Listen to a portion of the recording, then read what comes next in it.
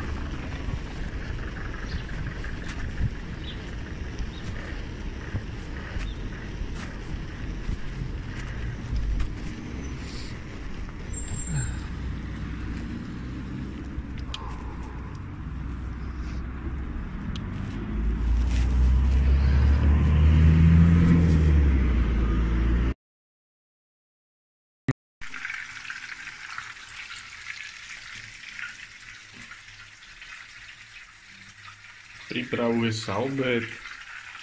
A keď ty žiješ tak osamelý život, tak máš peňazí dosť a tým pádom si dopraješ dobré veci.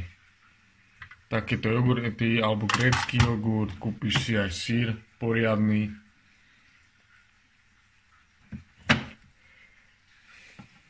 Proste tu chystám tu chystám mrkový šalát ešte k tomu mesu